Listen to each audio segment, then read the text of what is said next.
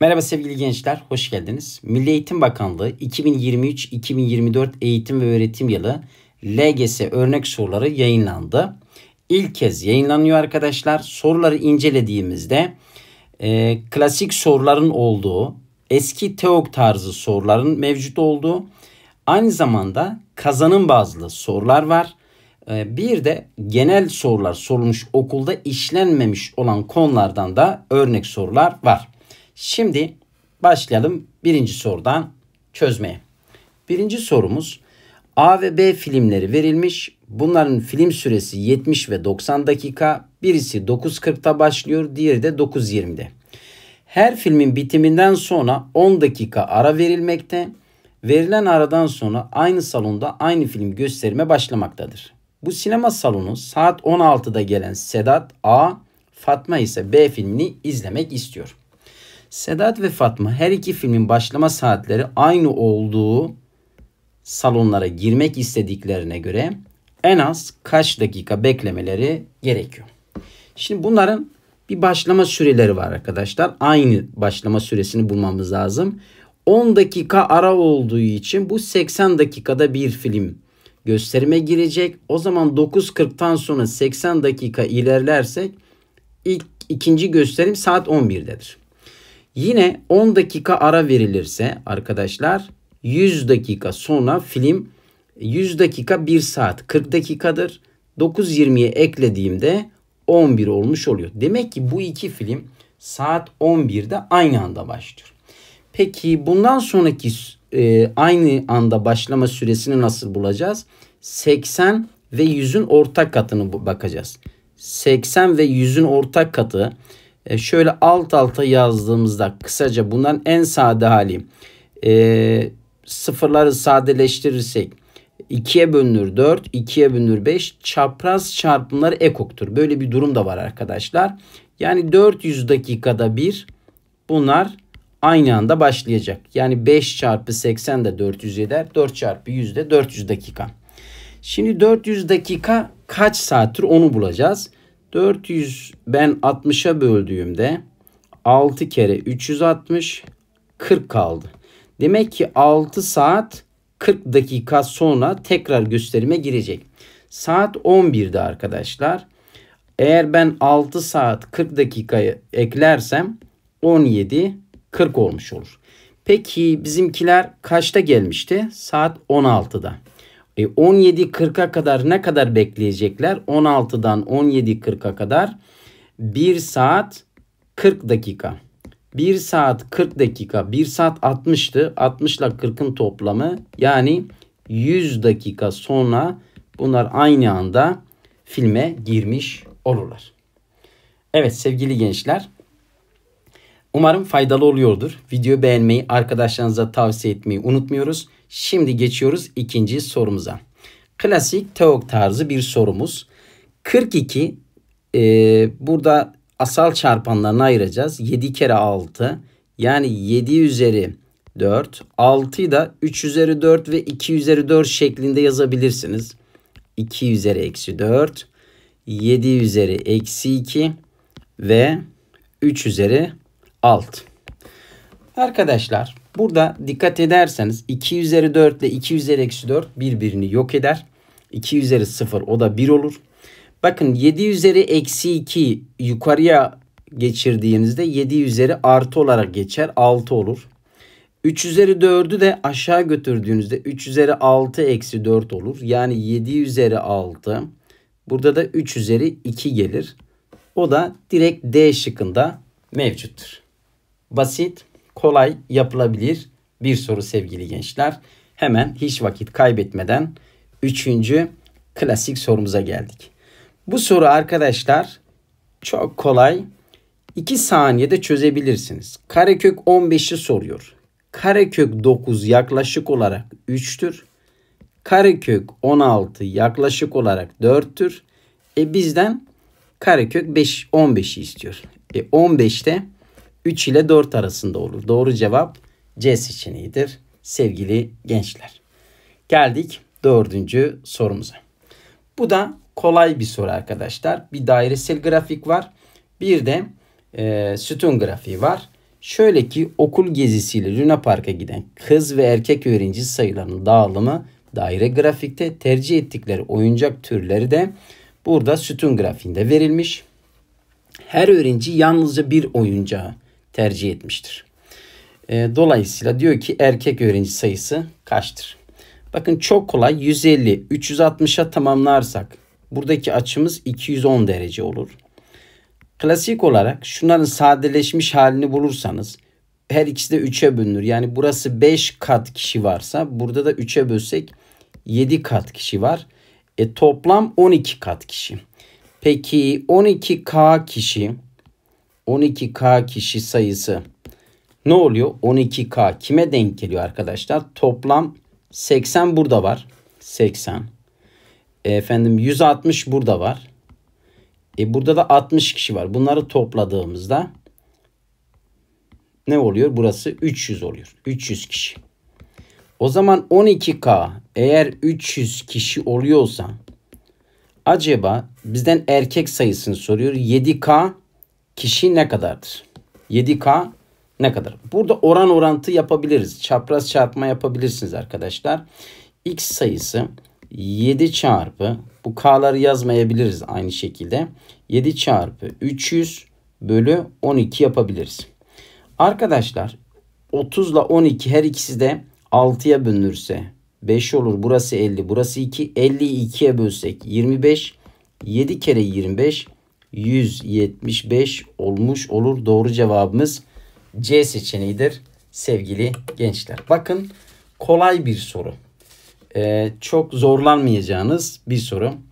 Ee, bu soruların benzerleri geçmi geçen sene yine örnek sorular yayınlanmıştı. Oradan da e, çözümlerini kanalımda bulabilirsiniz. E, umarım faydalı olur. Geldik 5. sorumuza. Yine güzel bir soru arkadaşlar. Olasılıkla ilgili 3 tane burada kutu verilmiş ve e, her kutuda eşit e, sayıda e, dağıtım yapılıyor burada diyor. E, mavi ve kırmızı renkli özdeş kartlar dağıtılıyor. A kutusunda çekilen kartın kırmızı olma olasılığı 1'miş. Demek ki A kutusu sadece ve sadece kırmızı var. C kutusunda da çekilen kartın kırmızı olma olasılığı 0. C'de de sadece mavi var. Burada kırmızı var. Burada da mavi var arkadaşlar. B kutusuna gelelim. Mavi olma olasılığı 1 bölü 4. Yani mavi sayısı bölü tüm 1 bölü 4. O zaman bir tane mavi varsa 3 tane de kırmızı vardır. E toplam kaç tane var şu anda burada? 4 tane. O zaman burada 4 tane kırmızı eşit olduğu için burada da 4 tane mavi olsun diyoruz. Diyor ki bunların hepsi bir torbaya atılmış. Bu 3 tanesinin hepsi bir torbaya atılmış. 4, 4 daha 8, 4 daha 12. Tümü 12. E bize rastgele çekilen topun kırmızı olma olasılığı. 4 kırmızı burada. 3 tane de kırmızı burada. 7 tane kırmızı bölü tüm durum arkadaşlar. Kırmızı sayısı bölü tüm durum 7 bölü 12. Doğru cevabımız yine C seçeneği olmuş oluyor. Evet sevgili gençler geldik. Yine e, güzel e, bir e, özdeşlik sorusu. Klasik basit bir soru arkadaşlar. Bunların bir sürü yolu var arkadaşlar. Bakın şöyle bir şey yapabiliriz. Bunu kare açılımı yapıyoruz. Mesela a eksi b'nin kare açılımını birincinin karesi a kare. Birinci ile ikincinin çarpımının iki katı ve ikincinin karesi şeklinde yapabilirsiniz. O zaman ben 5x eksi 6'nın karesini şöyle yapabilirim. 5x'in karesi birincinin karesi. Eksi 2 çarpı 5x çarpı 6 bir de artı ikincinin karesi. Bunu düzenlersem 25x kare. 2 kere 5 10 6 ile çarpsak 60x artı 36. E şimdi bakın bunu incelediğimizde ve bu da buna eşit olduğunda demek ki A sayısı bu. B sayısı da budur. A neymiş? Eksi 60. B neymiş? 30. 36 pardon. Burası 36. 36 ile topladığımızda A ile B'nin toplamı eksi 24 olmuş olur arkadaşlar. O da doğru cevabımız B seçeneğidir. Bakın bunu kısa ve pratik ikinci bir yoldan da çözebilirim. Bakın hemen ikinci bir yol şudur. Ee, şöyledir. A ve B istediği için toplamını x gördüğüm yere ben 1 yazarsam x gördüğüm yere 1 yazarsam a artı b ifadesi kendiliğinden geliyor. Yani 1'i koyduğumda 1'in karesi 1. 25 ile çarp 1 için ne olacak? 25 artı a artı b. E, x yerine 1 koyduğunda 5'ten 6 çıktı. Eksi 1. Eksi 1'in karesi de 1'dir. O zaman a artı b 25'i eşitliğin diğer tarafına atarsanız eksi 24. Böyle de kısa bu soru için böyle bir değer verebilirsiniz sevgili gençler. Şimdi devam ediyoruz 7. soru. İstanbul'un e, en güzel yeri Üsküdar Kız Kulesi ve Galata Kulesi ilgili görseller verilmiş arkadaşlar. Şöyle diyor. Kareli zeminde E noktasından hareket eden drone buradan önce eğimi 1 bölü 2 olan doğrusal yolu izleyerek AB üzerine. Şimdi eğim 1 bölü 2 demek. Eğim şöyle demek. Dikey bölü yatay uzunluktur. Dikey uzunluk yatay uzunluk. Yani dikeyde bir birim gidecek. Yatayda iki birim ilerlemiş olacak. Yine dikeyde bir birim gidecek. Yatayda iki birim. Bu şekilde ilerliyor arkadaşlar. 1'e 2. 2 ilerliyor. Bir dikeyde 1 2 ilerliyor. Yani şuraya gelmiş olacak arkadaşlar. Dikey uzunluk 4. Yatay uzunluk 8. Yani 1 bölü 2 4 bölü 8. O da 1 bölü 2'dir. Yine aynı şekilde arkadaşlar diyor ki e, sonrasında nereye gidiyor? Kız Kulesi'ne gidiyor. Yani şuradan şuraya geçecek arkadaşlar. O zaman bunun eğimi nedir diyor arkadaşlar. Bunun eğimi de şu şekilde. Dikey uzunluk 3. Bakın 1, 2, 3. 3 birim. Yatay uzunluk burası 8'di. Bir birim ötesi 9. Bunlar 9 oluyor burası. O zaman dikey uzunluk 3, yatay uzunluk 9. Eğim öyle hesaplanıyor arkadaşlar kısaca. O da 3 bölü 9'dan yani 1 bölü 3 olacak. Doğru cevabımız A seçeneği. Kolay, zor olmayan bir soru sevgili gençler. Ee, umarım anlaşılıyordur. Anlaşılmayan nokta olursa lütfen yorumlara yazın. Video beğenmeyi, arkadaşlarınıza tavsiye etmeyi unutmayın. Kanalıma abone olduğunuz için size teşekkür ediyorum. Ee, devam ediyoruz. Şimdi geldik 8. sorumuza. Sevgili gençler bu da üçgenle ilgili ee, şöyle kenar açı bağıntısı var burada. Diyor ki 9 e, verilmiş 3 verilmiş B açısı A açısından küçük o da C. En büyük C açısıymış burada. O zaman en büyük kenar şu kenardır. Ben bundan her birinin yarı çapına R dersem arkadaşlar. Şöyle bir şey dersek. Şimdi en küçük B. B açısı en küçük. Bu da orta. Yani B kenarının en küçük olacak. B açısı en küçük olduğu için o zaman B'nin karşısındaki kenar da en küçük olacak. Yani o zaman AC kenarı B'nin karşısı küçük olacak. E, kimden? BC kenarından şu kenardan. Çünkü C açısı en büyük olduğu için o zaman AB kenarı da en uzun kenar olacak. Peki ben burada BC kenarı neymiş burada? 2R artı 3'müş. E, AB kenarı ne? R artı 9. R eşitliğin bu tarafına atarsam R. 3, 9, 9'un yanına atarsam 6.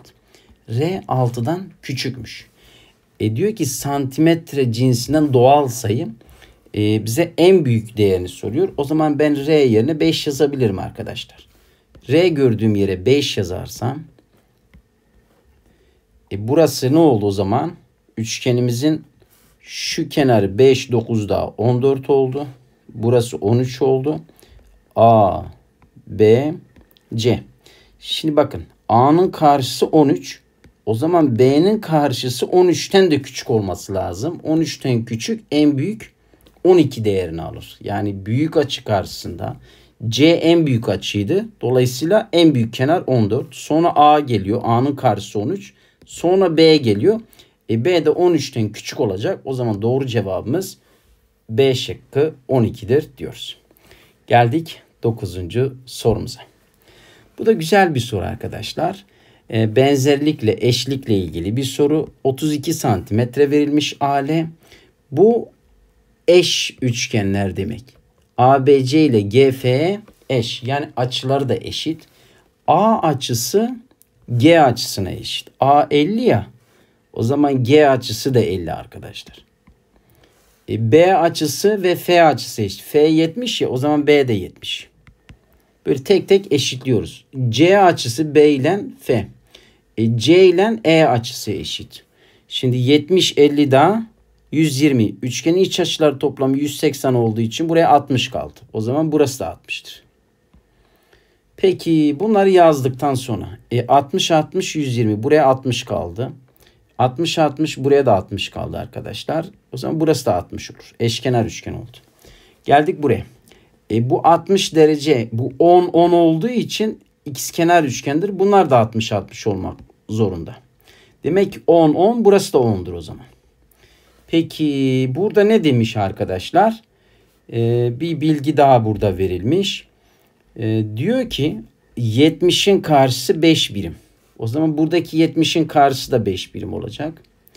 Şu anda 5, 5 de burada 10, 10 da burada 20. Geriye 32 olabilmesi için 16, 12 kaldı. O zaman burası 12 birimdir. Peki bakalım. DCE diyor. Bakın DCE yani şurası DCE 60 derece burası. Şu açımız 60 derece arkadaşlar. Ee, 60'ı yazdık. GKL GKL o da 60 derece. Bunlar eşit. Geldik DCE. DCE üçgeni. DCE eşkenar üçgen. KGL, KGL eşkenar üçgen. Bu da benzerdir arkadaşlar. İkisi de eşkenar üçgen olduğu için. Benzerlik oranı bunun 12 arkadaşlar. Bunun da 10. E, sadeleştirirsek 6 bölü 5'tir benzerlik oranı. O zaman bu da doğru. Şimdi benzerlik oranı kenarlar orantılıdır arkadaşlar. CE dediğimiz şey 12 yazarsak e, GL dediğimiz şey 10 yazarsak Burası 36 olur, burası 50 olur. Maalesef yanlıştır. D şıkkı birbirine eşit değil. O zaman doğru cevap D'dir sevgili gençler. Evet, şimdi geldik son sorumuza. Son sorumuzda e, silindir var burada, karton. Dairesel şekilde bir e, kesim yapılmış arkadaşlar. Açınımı verilmiş. E, şöyle ki, diyor ki e, dik dairesel sin yarıçap uzunluğu santimetre cinsine bir doğal sayıymış. Şimdi e, burada şöyle bir şey. Bunların yarıçapı r ise bunun çevresi 2 pi r'dir. Çevre 2 pi r'dir. Peki alanı nedir? Alan da pi r karedir sevgili gençler. Şimdi bakın 2 e, pi r kesinlikle ve kesinlikle 30'dan küçük. Yani bunun açılımı burası 30'dan küçük olacak. 2 pi r 30'dan küçük. Pi yerine 3 yazacağız. 2 çarpı 3 çarpı r 30'dan küçükse r e, 6 36'ya böldük 5'ten küçük olacak. O zaman biz bizden ne istiyoruz? Silindirin hacmini soruyor. R'yi 4 3 2, 1 değerlerini vererekten çözeceğiz. Şimdi silindirin hacmi biz R 4 için inceleyelim. R eşittir 4 için bulalım. Hacim nedir? Eğer buraya 4 verirsek burası da 4 olmuş olacak. O zaman bunun tamamı 8 olmuş olacak. 8, 8 daha 16, 20 olabilmesi için buraya da 4 kaldı. Hacim formülü pi r kare h'tır pi 3 r dediğimiz şey 4'ün karesi h dediğimiz şey bu oldu h. O da eşittir 4 oldu. Yani çarptığımızda e, 3 çarpı 16 48 4 ile çarptığımızda 192 bulduk. Peki 192 var mı şıklarda? Yok. O zaman hemen r eşittir 3 için inceleyelim. Demek ki daha büyük bir değer bulacağız. Yine hacim eşittir pi çarpı r kare çarpı h'tan pi 3'tür. r de 3. 3'ün karesi. Eğer şimdi şöyle bir şey yaparsak. Buraya 3 dersek. Hemen bunları bir sileyim ben arkadaşlar. Şurayı sileyim. Şurayı da silmiş olalım. Buraya eğer 3 birim verirsek burası da 3 birim. Yani burası 6 birim oldu. 6 da burada 12. O zaman buraya 8 kaldı. H eşittir 8. O zaman 3 e, çarpı 3'ün karesi 27 çarpı 8 çıktı. 7 kere 8 56 o da 216 bir olmuş olacak. Bakın 216 burada verilmiş. Ee, R eşittir 2 verdiğinizde daha küçük bir değer çıkmış olacak. Dolayısıyla bizim cevabımız 216. Aynı şekilde bulabilirsiniz. 216 bizim aradığımız cevaptır. Evet. Ee, sevgili gençler LGS örnek soruları şimdiye kadarki yenen hepsi Kerim Hoca ile Matematik YouTube kanalında bulabilirsiniz. Takipte kalın arkadaşlar. Ee, başaracağınıza inanıyorum. Kendinize iyi bakın. Çalışın. Bu sene sorular kolay olacağı gibi geliyor arkadaşlar. Kolay olacak. Çalışırsanız başaracağınıza inanın. Başarırsınız, yaparsınız. Kendinize iyi bakın. Hoşçakalın. Takipte kalın.